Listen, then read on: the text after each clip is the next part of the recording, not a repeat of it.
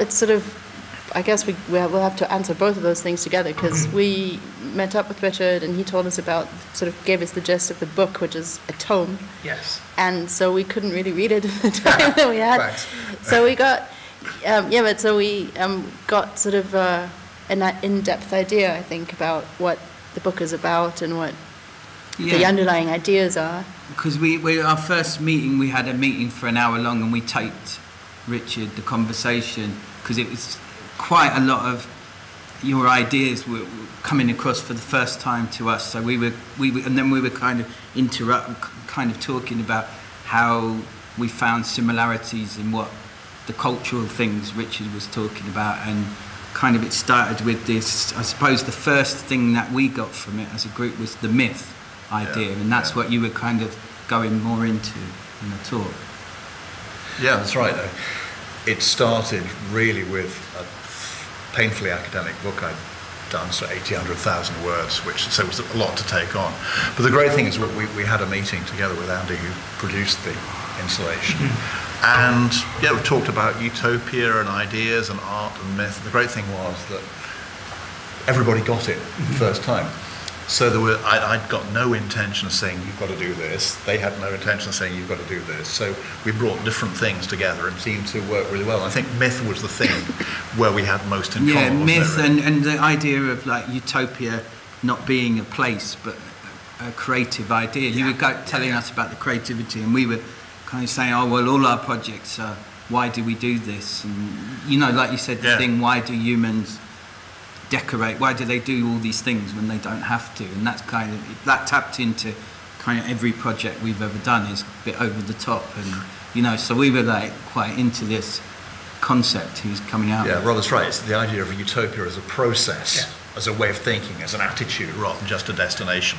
And it was great. We all, we all got it straight off. You mentioned the book. Is this you're talking about your book because there's Why, how kind of you to mention the book. Yeah. Well, I was going to say because there's also a, a, a thinker Ernst Bloch who Yeah. basically hangs over this entire project as well, and that idea that you've just been described. So perhaps we could tell us Yeah, okay, who he yeah. is and, Right. and what what idea of his has led to this project. Fair enough. Uh, Ernst Bloch was the guy who actually gave us our title in our hands, because it's Bloch, who's a utopian critical theorist, uh, said famously, life has been put into our hands. Well, how did he get there? Bloch thought that life could and should be better than it already is. And he said that, but we've already got ideas of, of how life could be better. Let's, let's look at art, let's look at culture, let's look at theatre, painting, fairy stories, stamp collecting, circuses. And in all these things, life tends to be better or make more sense than it does in reality.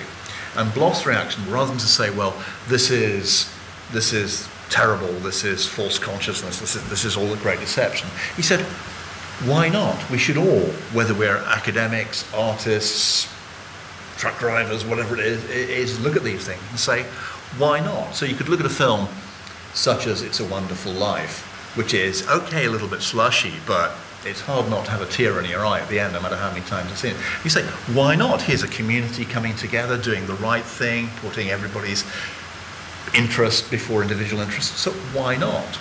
Um, there's a great scene in, you've probably all seen it, in um, Woody Allen's Annie Hall, where Woody Allen settles an argument by producing the real Marshall McLuhan from behind a screen. And McLuhan supports Woody Allen's Woody Allen character's point, and Woody Allen breaks all the conventions of cinema, turns to camera and says, "If only life were like this." And that's kind of the Blochian approach: is if only life were like this. So it's saying the visions are there, um, the ideas are there. It's a process, it's a way of thinking, it's learning how to hope, and the arts help us do that. So that was the that was very much the starting point. It was Ernst Bloch who, who does, yes, he, he, he hovers over it, although we don't actually mention him too much in the exhibition, but he's, he's there, and he's in our title. Life has been put into our house, yeah. So how does that idea, and again, you can all sort of chip in on this one, but Steph, let's start with you. How does that relate to the overall idea of utopia then that this project is celebrating?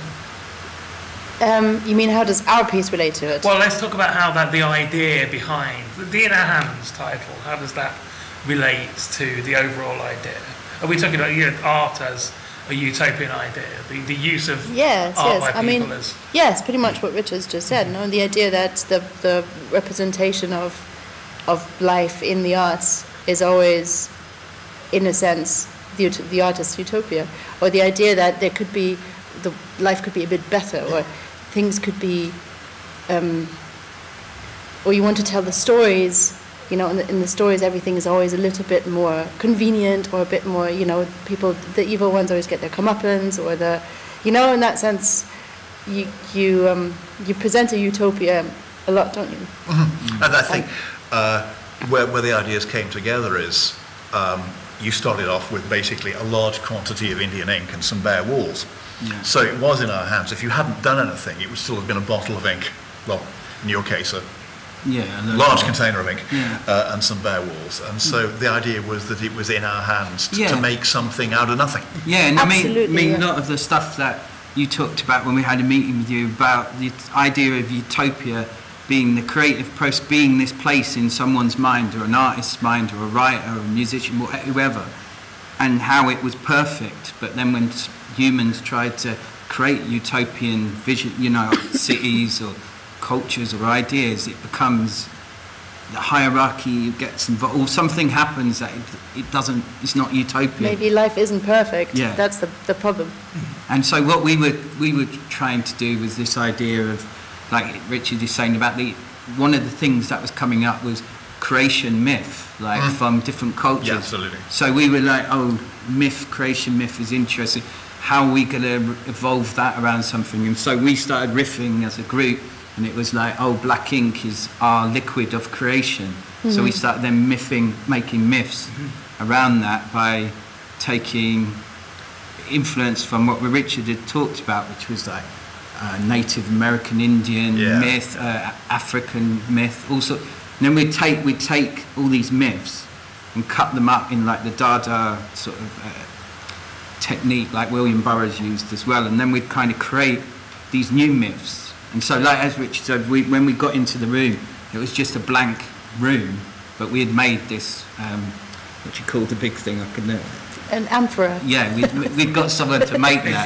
vase. Yeah, The the big big vase. vase, yeah, the oversized vase, and so that was the idea. There was that was the vessel that held the liquid of creation, and then through all this kind of utop, you know, what what we really picked up on was this idea of creating something through these modern kind of cut up myths and but also the idea of the liquid of creation being the potential of it, you know, so the potential for this utopia, and then mixing that up with the idea of worshipping, you know, worshipping the the gods, because you were talking about a lot of mm-hmm. different sort of gods in, in creation myths, and so this idea of a place of worship of the potent, the creative potential, in a way, that is in, contained in the liquid of creation in the amphora. Yeah, so the, the source of, of particularly the, the, the myth was looking at the connection between creation and creativity, and how creation myths, not just the ones we're probably more familiar with, but looking at uh, particularly Navajo myth, was explaining how the world came to be the way it is, and, and who made it, and, and how does it evolve, how does it become better than it already is. So the in our hands idea was very important. But the other thing that the gun really picked out with the mythical characters was the way myth works, um, referencing uh, Claude Levi-Strauss's work here. Myth is a way people make sense of the world, stories that somehow make sense of it all. Uh, you have characters representing everything, and they come together and they combine these, that, that they work out oppositions, things that don't work. And myth brings them together and somehow somehow makes sense. And part of the way it makes sense is the mythical characters you call chaos, like the Navajo coyote, but also the idea, the Navajo call it Hajan, the ultimate state is one of balance and contentment and form, harmony, aesthetics, and all the rest of it. So myth was a very, very important part of that. So putting it together, we were both making and sort of explaining, but in a visual rather than a verbal way. So uh, you're getting verbals tonight. Well, we're going to come back to Le Gun's installation in a while. I want to talk about both, and I said inevitably because of the way that the, the two installations were put together, we'll talk about them separately. Although I do want both of you to, to chip in and comment on, on either's when it's, when it's relevant. We'll talk about Richard's first. Before we do, um, can you guys just mention, because there's, it's a collective, there's more people involved who aren't here tonight. So just mention the other people that were involved in the project. There's we go on. like uh, there's another member of Le Gun working with us, Neil Fox, but he can't be here tonight.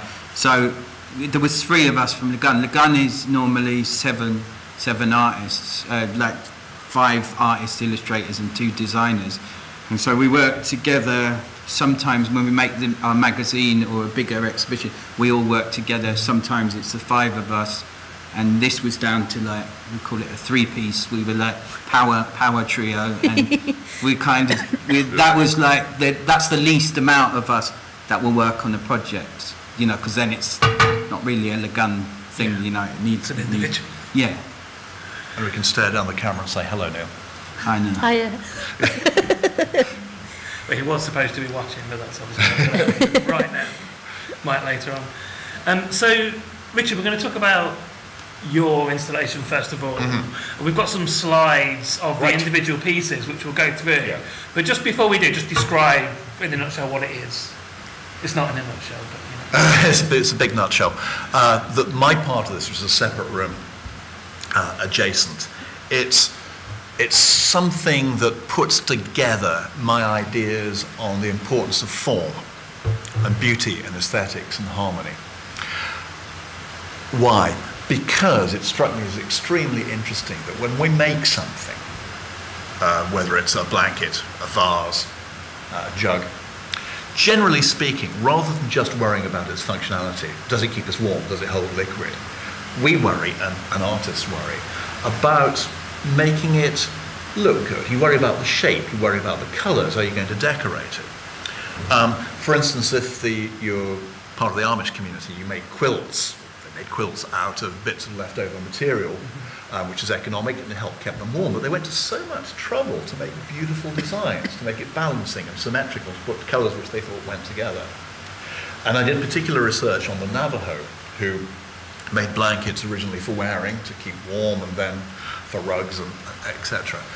And they went to so much trouble, they bothered so much to give it qualities which were aesthetic rather than practical. And a good question is, is why? So there's clearly something in us which, in addition to working towards a utopia which says you've got to do this and got to do that, um, there are other issues in there beauty, happiness, harmony. But more than that, it's a metaphor.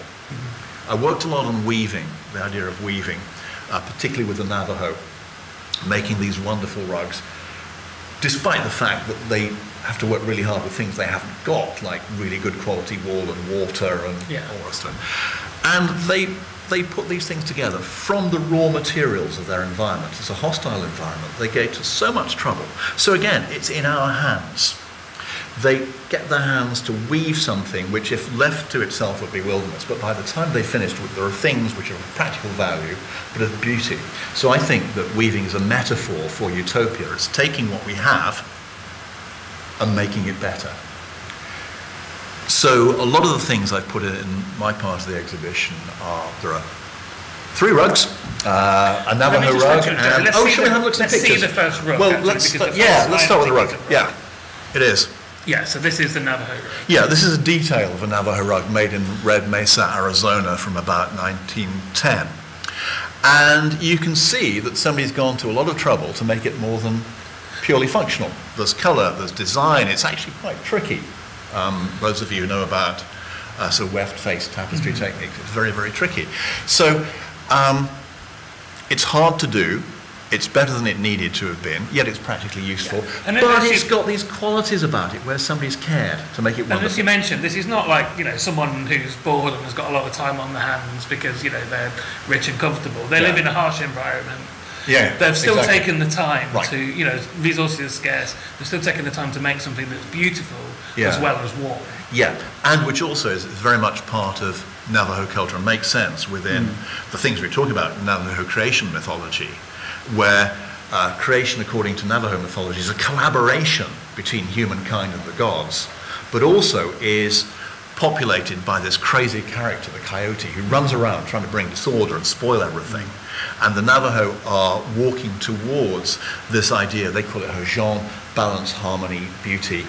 And so it's the tension between chaos and beauty, which to me underlines myth and creativity and the aesthetic process. So what a wonderful, you know, just image which has all, all this thinking, all these ideas, just, just in Yeah, and when we were weaving. when Yeah. we were looking into Navajo and all these creation myths, like the coyote, they symbolise it with a triangle. You know, it's but like the imagery there is quite similar to you know some of the stuff we were looking at. It's very abstract how they show things, you know, characters and stuff. So it was, it was kind of for us, it opened up our minds to like you know the Navajo, like what Richard was talking about. We would not necessarily have been looking at that before we had that chat and stuff. While we're talking about coyotes, your coyote is, um, I believe it's a coyote, there's various different representations, but he's wearing a kilt. Oh, that might be a crocodile. Oh, that's the crocodile. That's the crocodile in the kill. Yeah, yeah. That, there is a coyote in there, but I think he's naked. I think. But, Yeah, I think so too. Why is the crocodile wearing a kilt? Celtic spirit. It was whatever came up on the day that we were doing. But I think e- each one of those characters in there is like a, sh- a shaman who's we've got from a mm-hmm. myth. So like the crocodile man, the spider woman, the skeleton man. They all came from these. You probably know where they came And- from. And I think also the process of the process that we use kind of reflects exactly what you were saying about the idea of balance and chaos. Because in a way, we tried to create chaos by randomizing a lot of the mm. process, and then at the same time, obviously putting it into some sort of vaguely Order, yeah. aesthetically pleasing thing that made some sense. Mm-hmm. So creating some sort of balance with it. So although I started off uh, particularly with Navajo because I thought it was a great meeting of the, the theology, the mythology, and, and the visual culture, a lot of the characters, the mythical characters that you picked out, um, they populate myths from all different sort of cultures across the world. But if you stand back far enough, they start to make some sort of sense because they tend to represent similar tensions and similar ideas. So the Navajo are a great case study but um, as you, you found, there are all sorts of people, and, and, and to be fair, uh, you had a, just a lot of fun with it as Yeah, well. it was Why fun, not? yeah. Why not? Why not? So this is in the exhibition downstairs, Yeah. but also there's a couple of um, rugs been made in a similar technique by artist Stella Benjamin. Yeah. Um, which I mean, once you get close up to them, you can see that there's a lot more detail. But from from from a distance, they're both quite plain. Yeah. I thought that was an interesting contrast, considering we're talking about the fact that this has been made over elaborately, you know, more than it needed to be. Mm-hmm. Yeah. Yes, Stella Benjamin's rug. St- Stella is a wonderful textile artist uh, living and working in Cornwall, and she uses Navajo techniques, but she's not stuck to try and reproducing Navajo rugs. And if you stand back, they, they look like sort of flat colour or a hint of some Mark Rothko or something like that. If you get closer, you can see she's doing very, very clever things. The detail of what, what the Navajo call the lazy lines, which all start to make sense. So I thought she would be a great person to bring in as somebody who's taking the same ideas, mm-hmm. but over 100 years later, and still making something which takes a great deal of time and trouble. The idea of metaphor, taking the raw materials of life, making them something better, but reflecting contemporary concerns. So she doesn't actually have to buy into the whole Navajo technology or design motifs to do it. And in between that, I think we've got some of the, so the other slides will help point this out. Yeah. To get from the original rug to Stella's rugs, um, we go through, well, a little bit of aesthetic theory. Well, let's uh, go on to the next slide. Here's a, a, Oh, a yeah. self-portrait of a man who is probably insulting the audience's intelligence here to ask you to tell me who Roger Fry is. But give No, no, not at all. I'm, excuse me, I'm just bowing and genuflecting to, to the great Roger Fry. Roger Fry, um, British um, art theorist, critic, painter. He was an okay painter, um, but a brilliant critic and an outstanding theorist. And what Fry did was, in the start of the 20th century, was explain to people the importance of form over content in the arts. And at the time, he was talking particularly about post-impressionist art, because a lot of people were saying, "But that's not what a proper apple or a proper wine or a proper field looks like." And he's saying, "No, that's that's not the point. We need to look at form. In other words, the way things are rather than what they show. So the idea of a good painting was something that, like a photograph that really looked like what it was supposed to. Uh, was out of the window, and he explained why. And he was able to explain this in theory, but with also with reference to art from other cultures, where again it was the way it was, it was the form, it's the balance, the harmony, the aesthetic elements of design, uh, which were more important. And so I started putting Fry and Bloch together, saying, well, it's a process, isn't it? It's putting things together, lining them up in a way that just somehow seems to work. And that's utopian when you think, that works better there, that works better there. Things that artists know almost mm. intuitively, but critics have to explain, particularly to a skeptical public, which is saying, well, I've been to Norwich. That doesn't look like Norwich to me. so there's far more to it. So if we look at the have a look at the next slide, yeah, which is one of these artifacts. Yeah, this is one of the pieces um, we borrowed from the Courtauld Institute of Art. They were extremely generous with lending us things, so thank you, Courtauld. This was a, it's an African tribal dancing mask collected by Roger Fry. One of the things Fry did was say this great thing, this idea of form, is something which is common to all good works of art, no matter which culture or when they were made. And he argued in some of his writing that African sculpture and mask actually probably had a better sense of form than many um, 20th century European North American pieces. So he put his money where his mouth was and spent a great deal of money in collecting this, this sort of thing. Um, again, we don't say, well, it doesn't look quite like a real person, does it?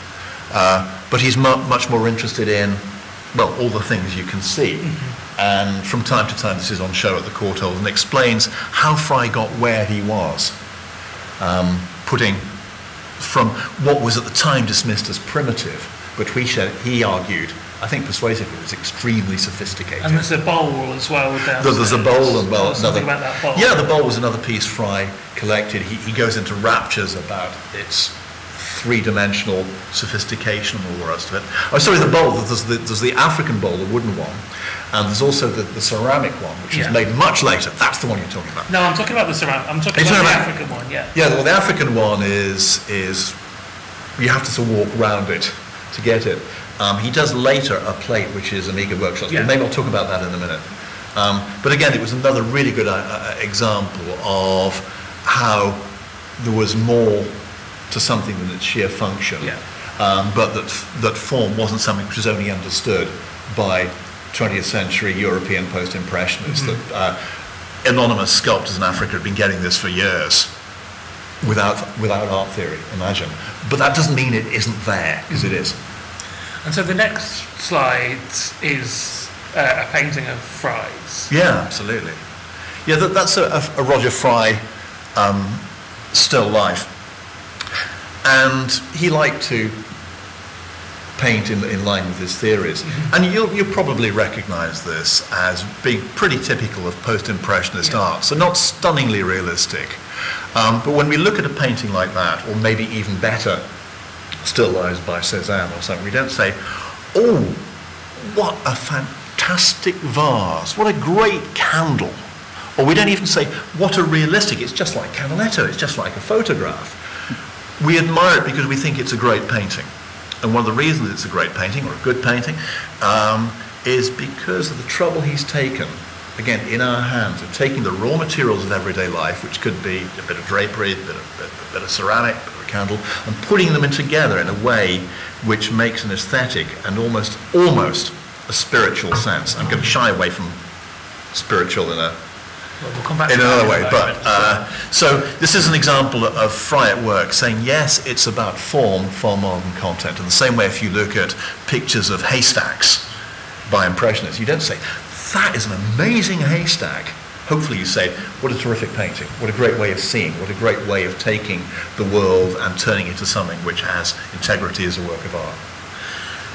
As you're sitting, sitting here patiently listening to Richard I'm just loving, I'm loving every moment. yeah, about, what does that, what, you know, what does that actually mean to you when you guys have stood there, you know, collaborating on a piece with the, the Indian ink in your hand about to make something? How does that sort of translate into the actual practice?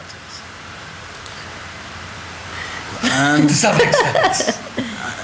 I, I don't know. I, th- I would say it's probably relevant to, to all our practice mm. because what you're saying, what he's saying is that the the way you put things together is more important than um, the the realism of what you're depicting, and I think that's probably something that you, like you said, you do automatically because it's, that's your main concern. you know? Yeah, and we're working, we've been working as a group of artists for over 10 years. So when we work together, say five of us together working on something, we don't really have this discussion about, you know, it's like we're going to do this, okay. Yeah. And it almost is coming together that someone does some, someone goes over something.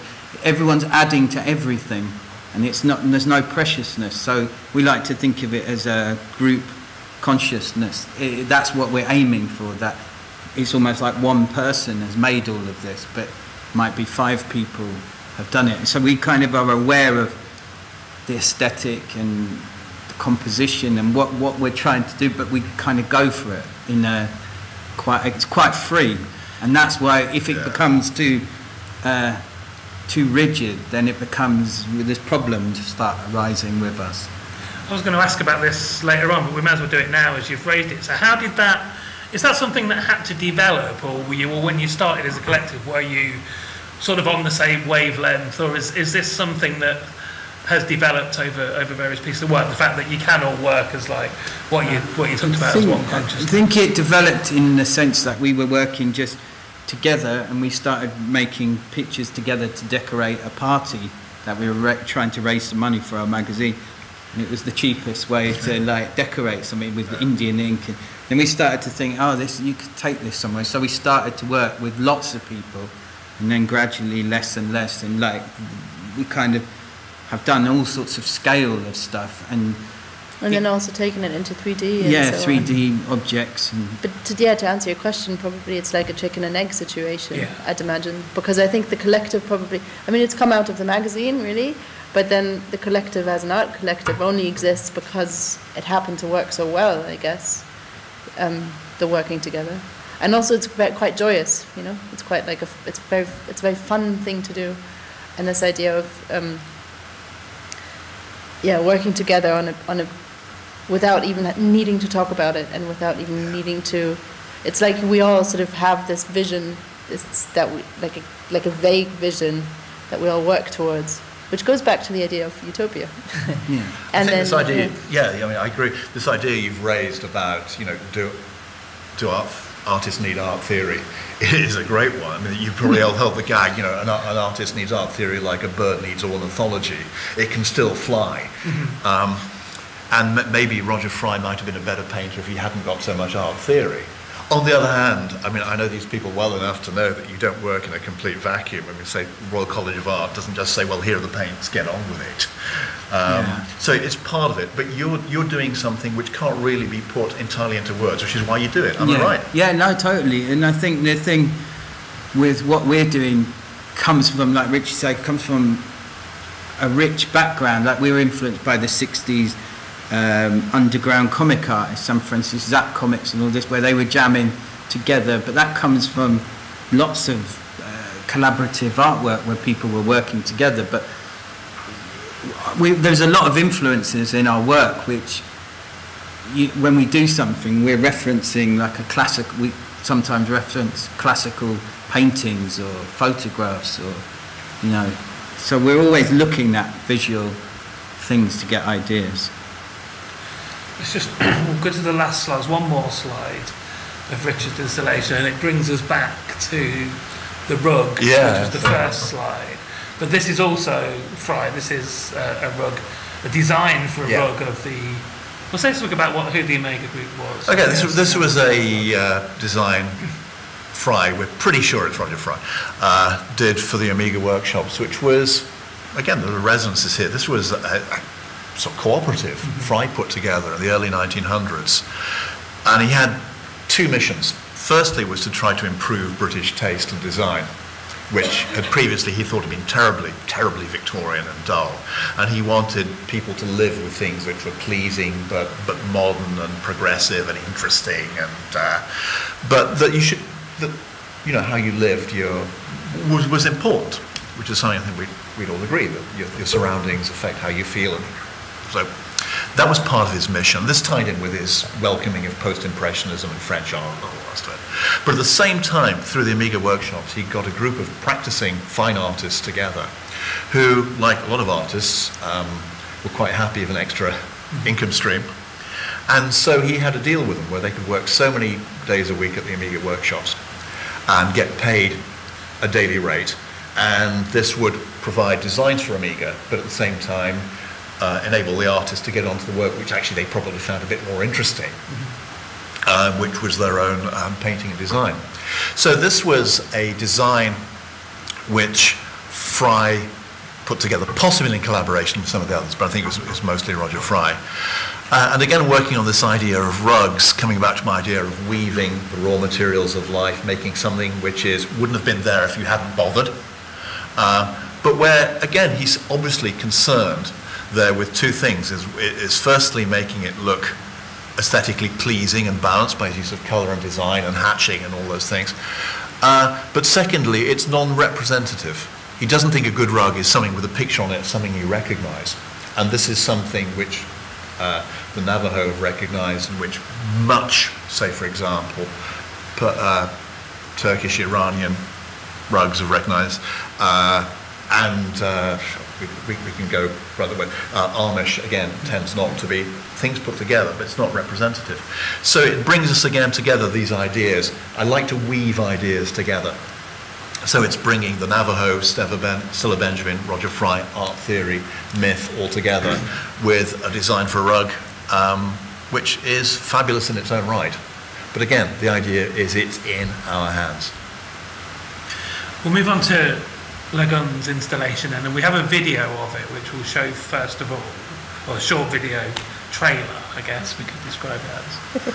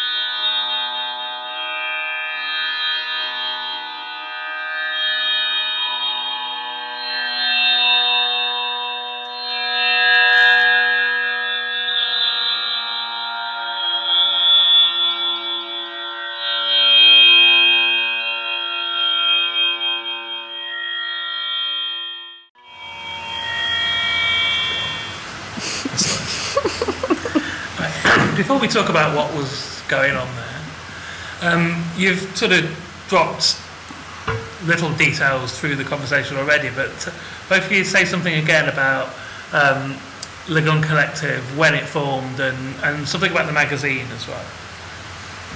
Um, well, we formed in sort of initially 2003 at the Royal College, and we made our first magazine in 2004. We've made five magazines since. It's kind of sporadic when it comes out, but we've kind of developed more into sort of an art collective than just a magazine and doing little shows. And like Steph said earlier, 3D drawing. Maybe you could. Uh, yeah, so we when the magazine the magazine is a narrative illustration magazine, which back then didn't exist, and so it was like the idea was that it would be a showcase for um, visual, I, I guess, for illustration, but for maybe more edgy illustration because at the time the only illustration press there was really was very tedious and quite twee, and so it was like a reaction against that, more in the older spirit of maybe. Um, uh, I think what we what influenced us probably would be things like French satirical magazines, you know, from the turn of the 20th century, or what you said, um, sort of 60s comics like that, and and so on. Yeah, and sort of countercultural. Coun- Yeah, Sort of that's like and that. aesthetic there. Yeah, yeah, there was a And- kind of that DIY element, but a bit more produced. If that makes any sense. Yeah, so the production is nice, but then when you open it up, it sort of punches you in the, f- you know, it's sort of quite, it's, yeah. So anyway, so then for for all the um, for the um, launches of each issue, we made an exhibition, and then one of the, I think the second issue, as part of the exhibition, we painted out an entire room in with life-size characters, and then we painted the ceiling and the sort of yeah, just everything with the help of I think maybe 30 people over three weeks. And we really liked the idea of this walk-in drawing and sort of pursued it and then made various 3D yeah, like we called, we called it like immersive drawings, but they were 3D things. And then we've kind of developed this into making a drawing and then making the object. Like kind of this weirdly links in with this thing we did at um, the V&A, which was responding to a writer's book about um, dystopian London in a thousand years in the future. And it was, we had to do this piece about remembering what a hospital was, what an ambulance was, what the NHS was, and they couldn't quite grasp what it was back then. And so we used all these elements, like which is quite funny, like shamans and medicine. Me- the history of medicine was all in this piece, but it was all kind of messed up.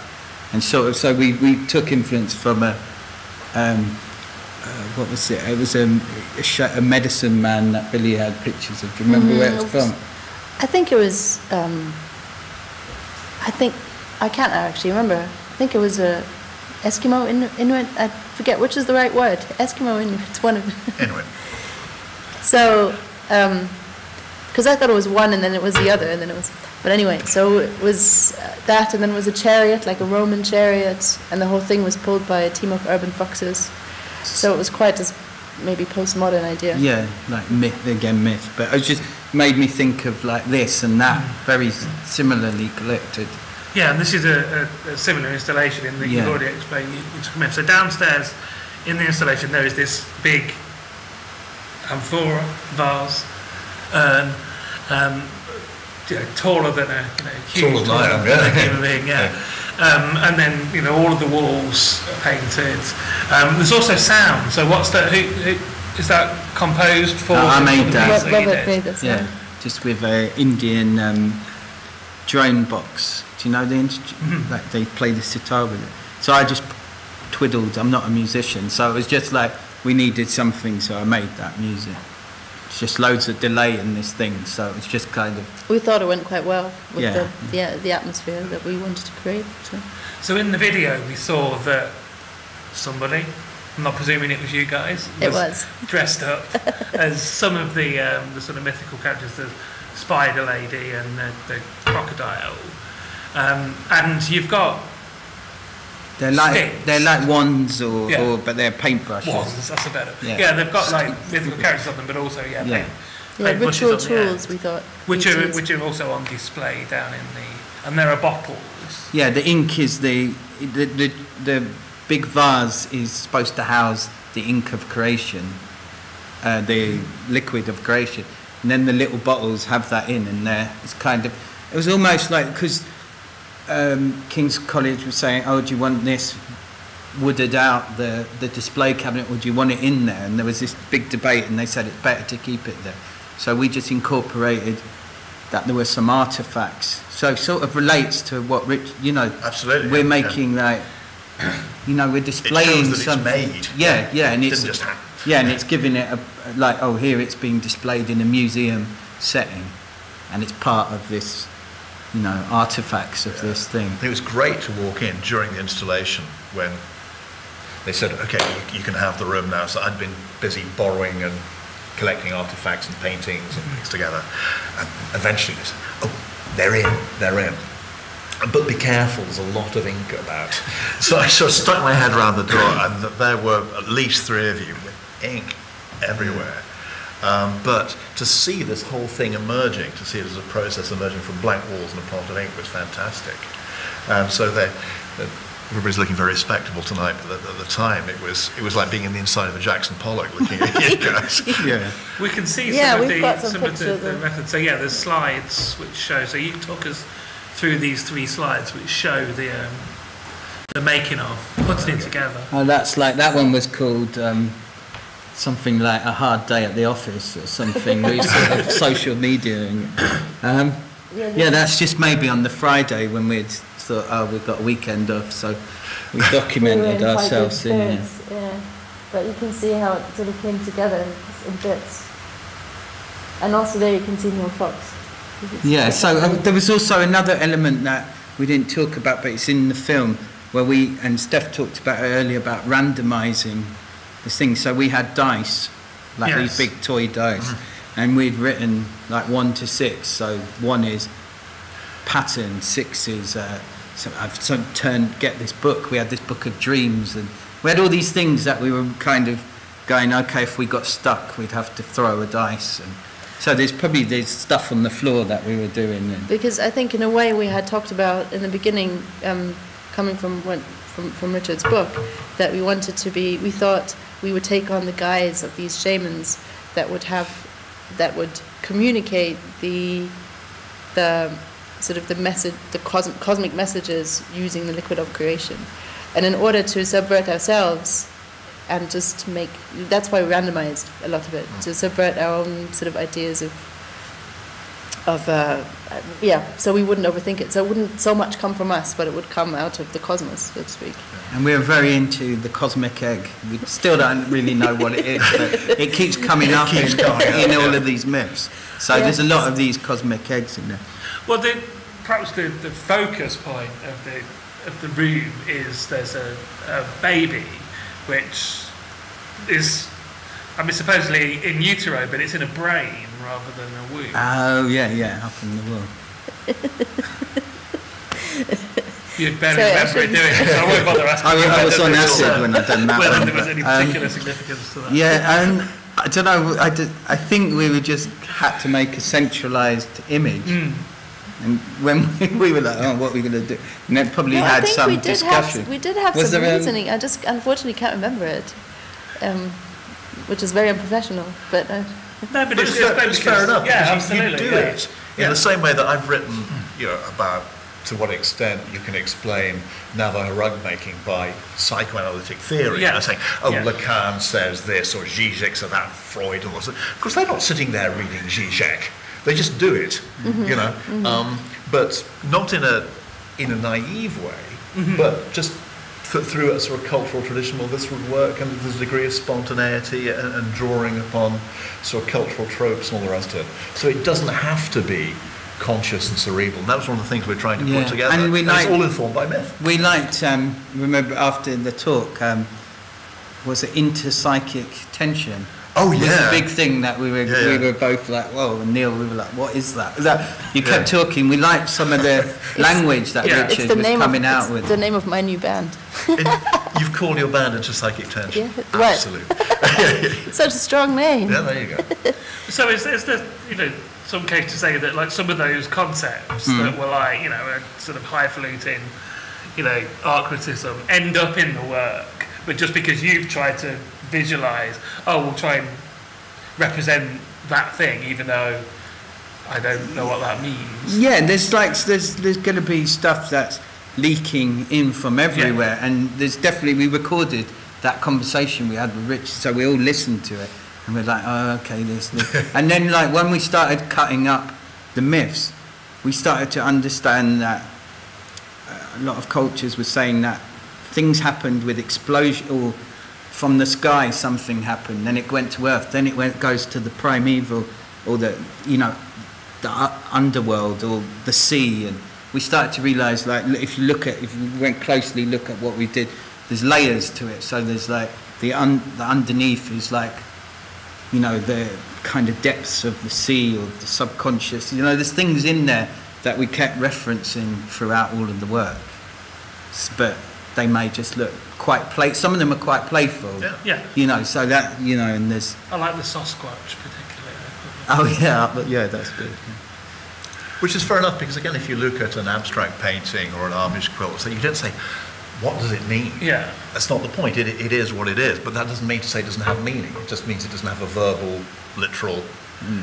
Here's what it is meaning. Because if it did, well, you wouldn't bother to do it, would you? Like there's one example in there where we, we sat in that canteen and we were just cutting up like uh, these myths, and one is like I don't know, it said like the cosmic egg hatched the dark dream, the most beautiful woman in the fish's in the pike's mouth. Something happened. And we were like, well, this you know, it's three lines, and we just created this thing with Kim, what's her name, Kardashian. Face, and then we were thinking she's like a myth, a modern day Oh, yeah. you know, it- it was quite weird. We started to think how there are these modern, there's these people in celebrity culture that are quite, it's almost like mythical, their lives, but in the most rubbish sort of way. So she, she, she's in there somewhere. So there's kind of everything's absolutely in there. right. Yeah, Yeah. absolutely right. One of the points I was trying to make in my writing and everything we, we, we've got together is the idea that everything is still mythic. We're still a mythical society. Myth isn't just um, societies from a long time ago or, or a long way away. We still think in terms of myth, whether it's Marilyn Monroe, whether it's Kim Kardashian, um, symbols, Yeah. figures which play out um, human concerns. They give us a concrete representation to abstract ideas and help make sense of it. They're, they're almost like sort of puppets that do the acting out. And popular culture is still a mythical form. I mean, some of the other things I've written about, say, for instance, the Titanic, historically irrelevant, mythically, a fantastic reworking of myths of hubris and nemesis, which hmm. makes sense of something that didn't make sense. Oh, you tell the story, and that makes sense of it. And so, again, if you stand back from myths around the world across time and space, you start to say, oh, these are common, common concerns turned into stories to live by. Hmm. And I would argue that's the truth. of Navajo creation hmm. theory, Judeo-Christian, Ju- Judeo-Cretan, the Bible, uh, Well, it's even creation like, theory, you- and yet the Kardashians. Yeah, and and like you were saying earlier have to about um, this one, it's a wonderful life, or this one, what is it? It's a Wonderful Life, Yeah, yeah. it's like the narrative is good and evil, essentially, isn't it? And suicide and a life less lived and touched. It's, it's quite a Utopia, deep. Yeah, you- yeah, like Yeah. both of those. It's What quite a deep been, idea. Yeah. What it could be. I mean, Harry Potter's a. We won't go. We won't go there. But talk about myth. You know. It's true, but then Sure. I think maybe also that's why possibly a lot of Hollywood films are incredibly frustrating and boring because the, the the myths that they tell are outdated or no longer fit or don't seem to describe the world. I mean, uh, in my opinion anyway, don't Yeah, seem right. to describe the world as I understand it at all. So it seems Which is why we're always creating new myths Exactly. because values change. right, right. And yet we're still looking for something that makes sense of everything. And so this is again going back to sort of Lévi-Strauss and myth theory that on the one hand there are similarities going one way and dissimilarities going the other, but you stand by. It, it all comes together. It's this idea of threads. Mm, threads and weaving. That's, And weaving. That was one of the ideas that Yeah. we were. Yeah. Oh, look, there's all these things that can in, be interlinked. You know, and that's what the walls of this installation are. You know, very much. If you read the little cut-ups, there'll be something about. You know, a cow chopped in half, and there's you see on one wall. There's all this happening. We've got another one there. Yeah. Right? Here you go. So yeah, there's a cosmic egg there. The baby. There's another Oh, baby, yes, isn't there? okay. Is that the baby, or there was another one? No, there was a bigger baby Yeah, in the brain. Yeah. in the brain.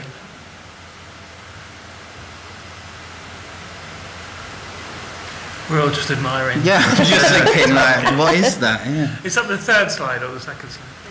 There's one more. Let's get. Let's have a look at the other the other slide. It's quite before finish impressive, our, our um, bit of scaffolding there as well. Yeah, there's someone up the scaffolding. Yeah. Is that Steph? No, it's me, I think. No. Oh yes, I'm, I'm down there. Oh, then yeah, yeah. Neil's asleep somewhere. Oh yeah, that was There's just the big jug. Yeah. that was just yeah, to show the emperor and to scale. So we, we kind of also we started off um, with the with the first meeting. Then we had Neil went away. It was a common theme of Neil's going away here, but he went away. So me and Steph had to do a drawing because we needed to have out something for the holding page. So he just made that sort of the the big the big uh, vase, and then. Uh, Neil was out one night socialising with some people and he met a handyman in a swimming pool or something. I'm going to create the myth, but I think it was in a swimming pool, wasn't it? I think it was. Yeah. Yes, ma'am. and- yeah, in, in a super basement. Are they called super basements? These, you know, people Oh, like dig. rich the- people have. Yeah, They yeah, dig yeah. a big Iceberg extension Yeah, yeah. Yeah, Yeah. yeah, yeah. So You he, when met- they tanked Yeah. the building? he met he met this guy. An eight-car garage underground or something. That's kind of the way Neil mixes in these circles. So he was in this swimming pool in a super, in a super basement, and uh, he met a handyman, and uh, he said, the guy, It wasn't his swimming pool. yeah, the guy said, look, here's my, here's my card. And Neil was like, yeah, cool. And then they had this chat, and he said, I want, I want someone to make this giant vase. And the guy was like, yeah, I'll do it. And so we, we found, he found this guy randomly, and then this guy just made this thing for us. Yeah, he's a genius because it had to come apart. Yeah, so it's quite complicated because it's Mm. to get through doors and it had to come apart, and so it was a good chance meeting, if you believe in chance. Discuss. It's a good myth anyway. It's, it's, it's, you, we get an idea of it from the pictures. Yeah, the scale. The, joy is, you know, encourage everybody Yeah. to actually go in there because you are surrounded by it. It is, it is immersive, isn't it? Yeah, yeah. Because it, not only the four walls, but the projections on the top. Oh yeah, the, the the sound. coming out of yeah. it as a projection. Yeah. Yeah, so as, as I mentioned, the, the exhibition is on until like the 2nd of October, so if you've not seen it yet, you really should get down and see both rooms. And I think that's where we're going to have to leave it. I'm aware that we started a bit late as well, but I do want to leave a little bit of time to see if we've got any questions from the audience before we finish. So does anybody want to ask the panel anything? Anybody? One question over? Can you talk a bit more about your process of using the dice to pick the artwork? Like, Oh, yeah. kind of write down? Yeah, we had we had two dice and two lists. So one list I think just had symbols. Oh, because there was there was an edge. There's, Yeah, you ca- there was in one of the slides There you was a there's a board around the room, which has like a like a pattern, triangular pattern. That's the idea again of chaos and balance. So we had this pattern, and then we had a dice for that and a list for that, and then it would say, paint the next triangle painted black, paint leave it white, uh, get what is it like get something no. One, I think one was cosmic. Yeah, cosmic and then pattern, one was triangle. pattern and one was triangles and then for the other for the walls we had sort of divided them into diamond shapes and again to have the, the idea of the, the balance of having an underlying pattern in the chaos and then there was There was stuff like with was that one. we I had think, different books and yeah, it had like go to pick a look at. page of the dream book, and you had to kind of yeah, interpret it, something. and then just the first thing you see, you had to draw that, or I think, yeah, I forget what it was. There was it was like referencing things we had. I'm pretty I can't remember to tell you the truth, but um, so the idea behind it as well was to when we get to a certain point, we get quite tired and we get quite like, oh, you know, you're doing this, you've been doing it all day. So it was to shake it up a bit, and it was because we're constantly moving around. We're doing all these things that when we teach, we do workshops, we teach the students how to do. So we had to do it ourselves, and we were like using that process. So the, the dice was um, just to stir it up a bit. And I think it was also because that's also another connection in a way to um, Richard's, what Richard had told us about this, the innate, um, the innate urge to decorate things and the innate urge to, to, to want to make things, I don't know, to in with your hands to sort of improve something, and so we wanted to keep the like instant response to you know to the sh- so if we knew we had to fill a shape with something, we wanted to not overthink it or anything, but just have a direct follow this urge to make something. I Yeah. think this idea of, of order and chaos is really important to, to the whole thing. And so the dice deliberately means you can't become too ordered. There's a Yes. great there's a great Navajo story. Can I tell a Navajo Please story? do. There's a great Navajo story, uh, creation story about um, they were planning how the stars were going to look, and they're laying out the design for the stars, the actual stars, on a blanket with bits of mica, which they're putting in a beautiful symmetrical pattern. And then the coyote character comes along. And the coyote character is sowing chaos and disorder. So he flips the blanket up like that. And that's why the stars are how they are in a apparently random pattern because he's sowed chaos and disorder. And the role of culture is then to try and recreate some sort of order out of the chaos. And that's where crea- creativity lies. Do we have any other questions? Uh, I have a question for, uh, you know, for Professor Howells. Um, you know, the, I think it's interesting this whole thing about Roger Fry and how he's trying to improve the aesthetic uh, identity of Britain. And I, I thought maybe just offhand that maybe, you know, looking at William Morris, there was some of the same themes there. I was just curious if there was there any kind of connection, aesthetic, or you know, personal or not between. Yes, that's, that's a very good point. William Morris and uh, that whole movement similarly were, were trying to improve British taste, uh, but to respect the idea of craftsmanship, um, the small unit as opposed to the big unit. rest of. So although they were working separately, it's very, you can't think of the Omega workshops without thinking to an extent of the whole arts and crafts movement. So, uh, so very much together. I just think that Roger Fry was, was a lot more art theoretical about it. Uh, William Morris probably more political about it. But again, if we're pulling threads together, it'll make sense. Yeah. He's I, consumer I, oriented too. so, sorry? He- He's consumer oriented too. Oh yeah, absolutely. Yeah, that they both needed to to sell. Um, but if you can improve British taste at the same time, why not? Did the, did the Omega workshop do wallpaper? They, well, the Bloomsburys themselves did some wallpaper. They certainly did fabrics. Um, but I have to admit, the Omega Workshops was not a great commercial success. um, but that, that, that's an entire story for another night. They deserve to do better. Okay, well, we'll, um, we'll draw it to a close there. So, this talk was supposed to be live streamed by This Is Tomorrow, but it's going to appear on the video. Oh, it was. Oh, so it did end up going out at some point. So, part of this talk was live streamed, but all of it will appear um, in a couple of days on the King's website, and indeed all of the previous uh, eight talks you can see at www.kcl.ac.uk forward slash Utopia 2016. And next Thursday, the 29th of September, is the last of 10 of these conversations, which is about curating Utopia. Um, I've been Neil Denny of Little Atoms Show. I forgot to say that at the beginning, which I probably should have done. Um, and finally, if you would all show your appreciation for, for Richard, Robert, and Steph, thanks all for coming. Thank you. So we, so we.